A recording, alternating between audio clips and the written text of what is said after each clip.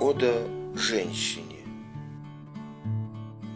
Женщина, ласка заботою нежную, Женщина слабость со страстью сплетенная, Женщина слово, как море безбрежное, Женщина жизнь мгновением рожденная, Женщина вечная в мире цветения, Тайную жизни всегда окруженная. Женщина – это минуты забвения, что превращаются в счастье бездонное.